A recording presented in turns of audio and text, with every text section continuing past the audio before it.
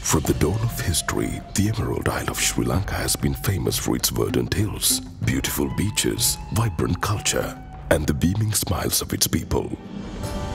The rich diversity of flora and fauna make Sri Lanka unique, but nothing quite as unique as its native drink, arrack. Arrack is a spirit distilled from toddy, which is brewed from the fermented sap of the coconut flower. The end result is a very fresh, aromatic beverage that is unrivaled by any other and has been enjoyed throughout the ages and is probably the most natural alcoholic beverage in the world. For centuries, arrack was brewed on a small scale, but at the beginning of the 20th century, distillation became commercialized. It was during the year 1913 that the remarkable story of DCSL begins. Over a hundred years ago, the Excise Department of Ceylon, which was created as the enforcement authority to distribute and sell liquor on the island, branched out into distillation and manufacture of liquor products. In 1974, the State Distilleries Corporation was incorporated to take over this venture. Then in 1989, it was converted into a limited liability company as the Distilleries Company of Sri Lanka, or DCSL. And finally, in 1992, DCSL was sold to the highest bidder on the Colombo Stock Exchange, and a consortium of investors led by Mr. Harry Jayawardena completed this landmark transaction.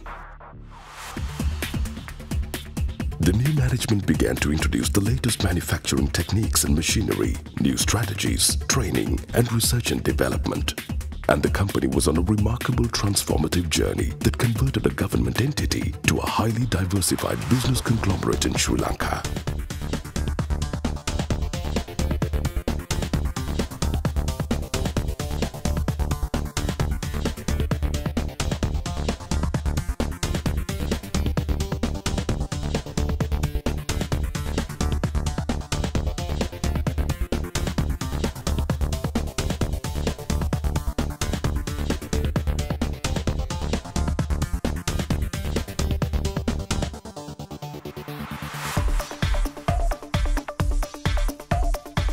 2015, the company invested in a state-of-the-art production facility supplied by Krones of Germany, which is the world's leader in the field. This facility, named the Extra Special Heritage Arena, is one of the most advanced in South Asia, providing an improved capacity with superior, unmatched quality to its customers.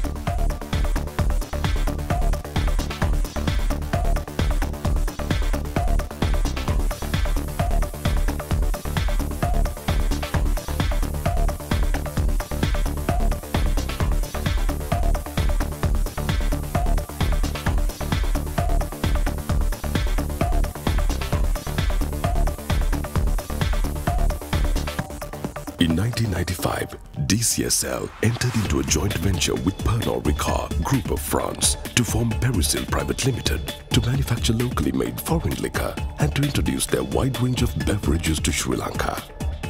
In 2006, the joint venture with Pernod Ricard ended by mutual agreement and Periceyl became a wholly owned subsidiary of DCSL to continue the business of manufacturing locally made foreign liquor.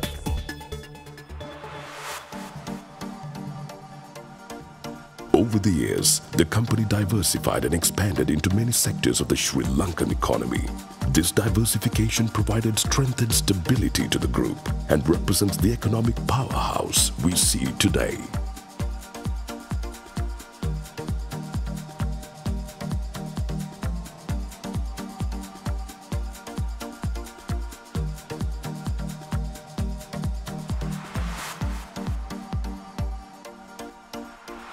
DCSL has experienced unparalleled growth in the last 25 years. It is a Fitch AAA rated company and one of the first Sri Lankan companies to be listed in the Forbes Best Under a Billion. It is consistently listed among the top 10 publicly traded entities by the Business Today magazine.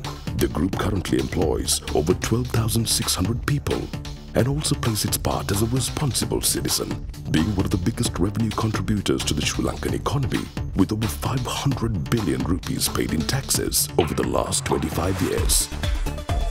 And last year, in 2016, the DCSL Group restructured itself, forming Melstacorp as its holding company, with a market capitalization of 75 billion rupees, becoming the sixth largest company in Sri Lanka. It has been an exhilarating journey of 103 years, the last 25 of which was characterized by corporate excellence achieved under the current management and would not have been possible without the support of our people who must be recognized at this occasion.